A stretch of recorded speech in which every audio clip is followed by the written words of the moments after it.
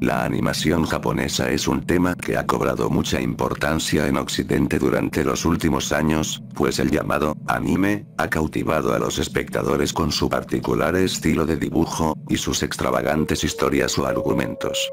aunque sus orígenes se remontan al año 1917, en donde se realizaron los primeros cortometrajes japoneses de animación, el que se considera como el primer anime importante y destacado de la historia es, Chikara Tona no Yononaka, del año 1933, del cual solo se conocen algunas fotos, pues no se tienen copias de la obra considerándose material perdido.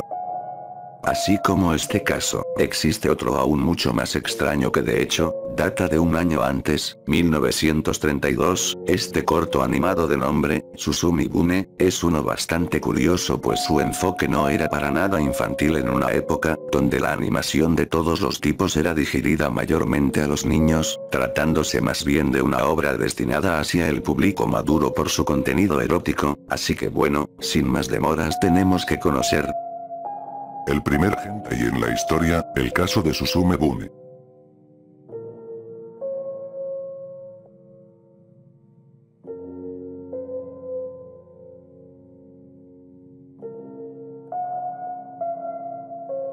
La animación japonesa a diferencia de la occidental, tiene la particularidad de tener un enfoque muy amplio sobre los temas que toca, y los públicos a los que se dirige, así pues, los animes pueden abordar situaciones como el romance, la aventura, la fantasía, la comedia, la ciencia ficción, y por supuesto, otras temáticas mucho más maduras, como el horror, la violencia extrema y el erotismo, esto último es en lo que nos vamos a enfocar. El anime de corte erótico o sexual, mejor conocido en este lado del charco como hentai, que significa pervertido o perversión, es un género bastante difundido y popular dentro de la gran variedad de estilos de animación japonesa, siendo también objeto de controversia por los temas tabú que se suelen manejar en este tipo de obras.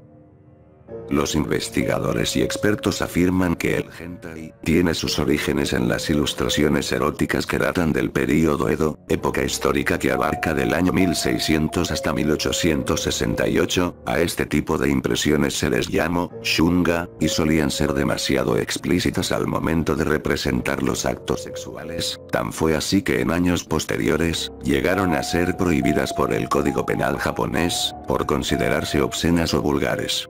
Tras la apertura de Japón a Occidente, este tipo de ilustraciones volvieron a cobrar importancia, sobre todo entre coleccionistas, y además sirvieron de inspiración para la realización de manga erótico en el siglo XX, así con todo este contexto, la que se considera la primera animación con este enfoque es, Senyaichi Yamonogatari, de 1969, sin embargo, existe otra animación de varias décadas atrás, que en algún punto del siglo XXI, fue descubierta considerándose hoy en día como, la verdadera primera animación erótica japonesa.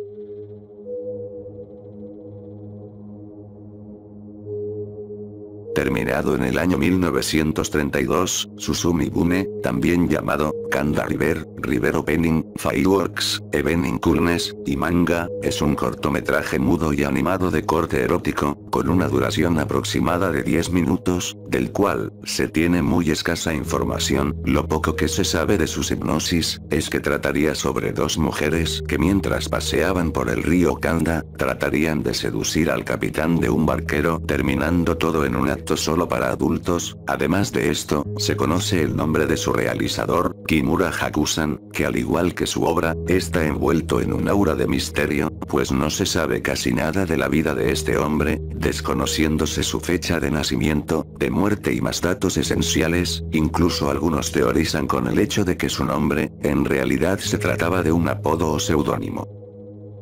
Lo que sí se sabe de este sujeto, es que era un animador destacado de inicios del siglo XX, pues su nombre aparece en varias obras animadas de esta época que cabe decir, las producía por su cuenta pues tenía su propio estudio. Volviendo con Susumi Bune, que se considera como su obra más destacada e importante, se tienen algunos datos como que su estilo artístico, era similar al de las ilustraciones ukiyo-e, un tipo de estampas o grabados producidos entre los siglos XVII y XX, además de esto, y en base al escritor Takuya Hasegawa, el corto supuestamente estaba conformado por más de 15.000 dibujos, lo cual se considera excesivo para una obra de tan solo 10 minutos, y es que realmente esta información no se puede corroborar por la situación en la que se encuentra el cortometraje.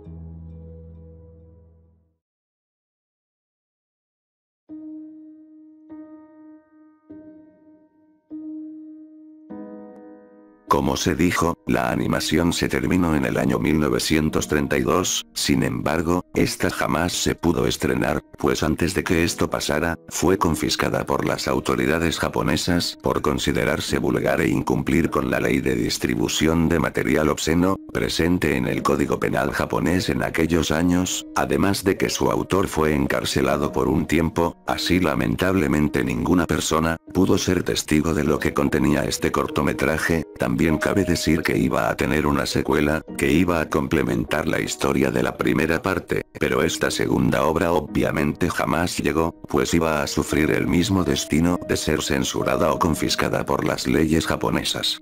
Así pues, a pesar de que se tenía el registro de que la obra había existido, por décadas se consideró material perdido, pues se creía que la policía había destruido la única copia al momento de confiscarla, sin embargo, en el año 2017, la única copia existente y original de la cinta fue redescubierta y donada de forma misteriosa al Museo Nacional de Arte Moderno de Tokio, especulándose que la misma policía había entregado el cortometraje, entonces debe considerarse como un caso resuelto de material perdido, ¿no lo creen? Pues realmente no lo es, ya que el hombre que decidió donarla, acordó con el museo que no puede ser mostrada al público ni mucho menos duplicada, encontrándose la cinta sellada y enlatada.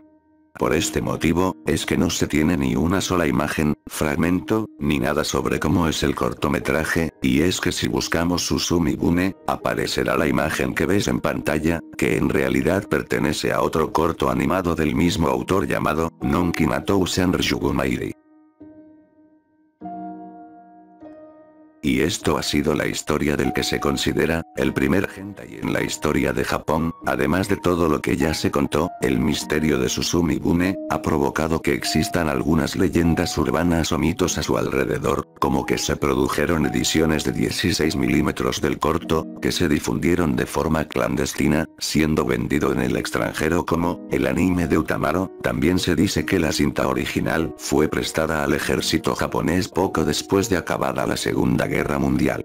Pero posiblemente, la leyenda urbana más absurda alrededor de Susumi Bune, es que el corto fue prestado al mismísimo Walt Disney, en una visita que hizo a Japón, quien después de verla la elogió, considerándola una obra de arte, no obstante, no se tiene ningún registro de que Walt Disney haya visitado Japón. Como último dato curioso, también se sabe que es el único hentai que pertenece al dominio público, aunque claro, irónicamente este no puede ser visto por absolutamente ninguna persona.